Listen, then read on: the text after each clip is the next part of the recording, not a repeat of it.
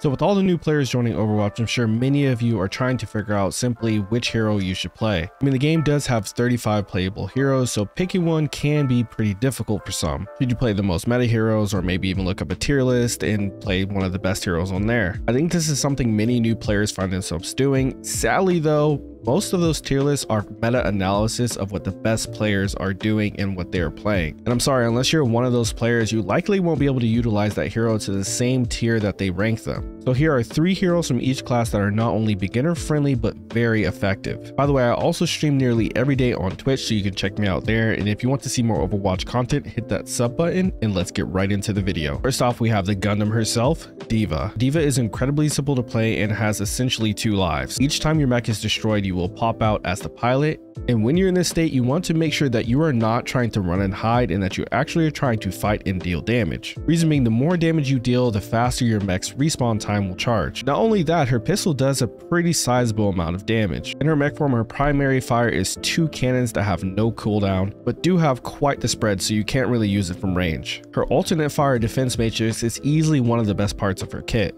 This will stop all projectiles in front of you. We're talking Moira orbs, Zarya ult, Reaper ult, or just even regular fire. It stops nearly anything. Now, as strong as this sound, it isn't something that you can just use infinitely. You can see how much you have on it with this meter right here on the right. Her tactical are these missiles right here that deal a hefty amount of damage and can be used simultaneously with her defense matrix. She can also charge down enemies and fly towards them or try to even reposition through her boosts. While using this boost, you can also use use your primary and your missiles simultaneously to secure pretty easy eliminations. Especially if someone is weak, this is something you're going to want to do. Lastly, her ultimate is an atomic bomb with the blast radius of a country. But in all seriousness, you can self-destruct by jumping out and it will deal massive damage to anyone within its very large blast radius. One of the best ways to do this is to boost in a direction and then press her ultimate and it will cause the mech to launch in that direction. Anyone caught within that will be instantly eliminated. Heroes that you want to watch out for while playing D.Va are Sombra, Zarya,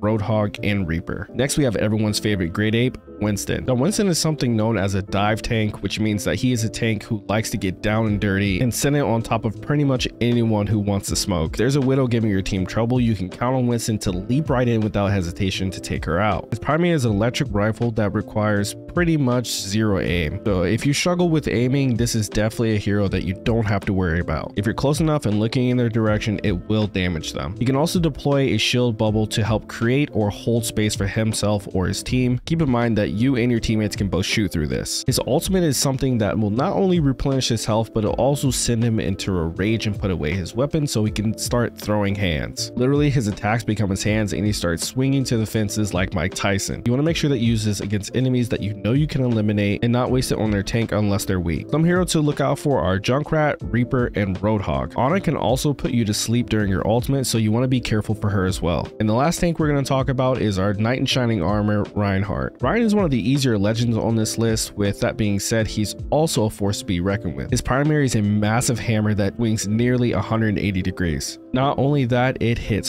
hard. Just like D.Va, he also has the ability to charge down enemies and slam them into the walls. If he does so, unless they're a tank, they will be instantly eliminated. His tactical is a flame stripe that does pretty big damage. This is something that you'll use whenever you're trying to zone out an enemy or trying to catch someone that's running away from you. You can also combo it with your ultimate, which is an earth-shattering slam that punishes enemies that are too close to him. This will leave them immobile for a good one or two seconds, which basically allows him to get free damage on them. Also, his alt fire is a shield that he puts up that has 1200 health. This is going to be your main way of controlling a space or to help your team push forward. Heroes to watch out for are Bastion, Pharah, and Junkrat. Now that we're done with tanks, let's get into DPS. First off, we've got the hero that will feel the most familiar to new players and that's Soldier 76. This hero feels like he's straight out of Call of Duty but with a few more powers. He's the only hero in the game that has the ability to sprint and his ultimate literally gives him aimbot which is right down Call of Duty's lane. But seriously, Soldier is a very straightforward hero and is very effective. His primary weapon is a 30 round assault rifle, but keep in mind it does have a little bit of recoil, and his alt fire is a helix rocket that does pretty big damage. You'll want to use this to secure kills if you maybe missed a few shots on your primary, or if you're trying to catch someone run away so that way you can secure the kill. His tactical is an AoE healing that he can use for both himself and his allies. Soldier is overall a very self-sufficient hero and is great for beginners. Heroes you want to watch out for while playing him are Roadhog, Genji,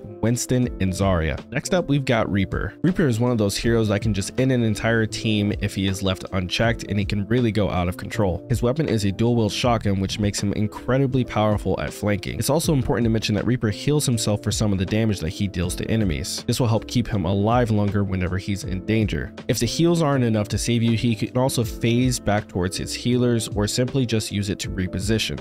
His phase ability also instantly reloads your gun, so you can also use this offensively. If you're firing off some shots and your opponent's still shooting at you, you can phase to just bait out more of their shots, instantly reload, and continue fighting. Another thing Reaper can do is he can teleport. This, this makes his role as a flanker much stronger, as many times the enemy won't even notice him. Be aware this does leave an indicator of where you're going to, so if anyone is there, they can pre-fire you. And lastly, his ultimate, which is literally just Alt F4. If he drops in from height or just catches you off guard and pushes this button. Unless you have a counter to it, you can pretty much kiss your entire team dead. He sprays a barrage of bullets and eliminates anyone nearby.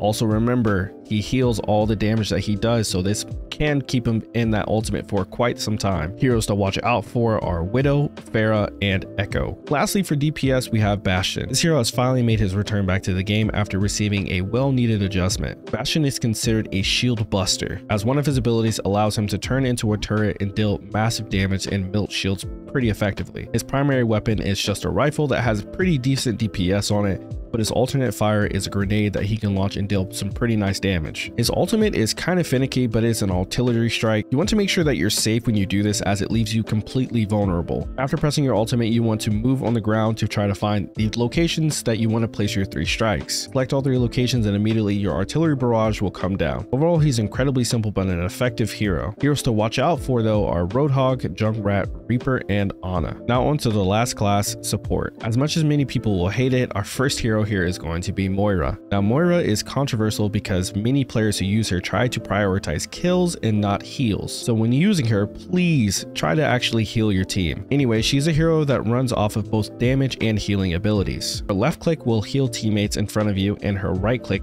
will damage enemies in front of you. Her damage ability requires literally no aim at all, which is why she's on this list. She also has two orbs that she can throw that will either damage enemies, or heal teammates. Keep in mind that these orbs will bounce around, so if you're trying to heal some teammates, it's better to try to bounce them in a position where they can get more constant healing. Same with if you're trying to damage more enemies, it's good to just angle it somewhere where it will bounce around to deal more damage. If she's caught in a tough spot, she can disappear and become completely invulnerable to reposition. Lastly, her ultimate fires off a massive beam that not only heals teammates but also damages enemies. Heroes to look out for are Widow, Sombra, Reaper, and Winston. Next, we have the DJ himself, Lucio. He's a very mobile hero that heals his teammates passively. He can also switch between healing his team and giving them speed boosts. This can be good for pressuring weak enemies that are trying to reposition. His primary is a three round burst that does pretty good damage. The secondary allows him to push enemies and this can become very versatile. One way you can use this is by simply pushing someone off of the map, but you can also reposition behind an enemy and push them into your team to secure an easy team kill. If you see Reaper getting too close and feel like he's about to ult, you can also push him out of the way as well. His secondary allows for many different things to happen, so get creative with it. But when team fighting, you can also amp up your heals or your speed boost by using your tactical ability, which will increase the amount of heals or speed boost that you're giving to your team. And lastly, his ultimate allows him to drop the beat and give his allies a massive boost in health. It's important to try to use this to counter an enemy ultimate if you feel like maybe your team is in danger, then to give them a little bit of extra health. Lucio is probably the support that will take the most skill out of these three, as having good movement is pretty important for his kit. Heroes to watch out for are Torb, Winston, Soldier, and Sombra. And the last hero on our list is our Angel Mercy. Mercy is a hero that many new healers tend to gravitate towards. She has the ability to dash in towards her allies to get herself out of danger or to hurry up and supply heals to one of her teammates that may be critically injured. When dashing in, it's pretty useful to press crouch at the end of it. That way you can lift yourself in the air and become a much harder target to hit instead of just walking around with your head cut off. Primary on her staff is the ability to just heal your teammates, and her secondary will give a damage boost to her teammate.